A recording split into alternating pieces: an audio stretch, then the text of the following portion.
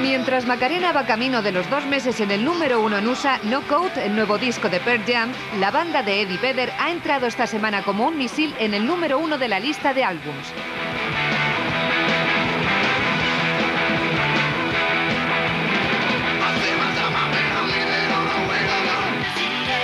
La lista británica está dominada por las recopilaciones. Jagged Little Pill de Alanis Morissette aguanta en el 4 más de un año después de salir al mercado.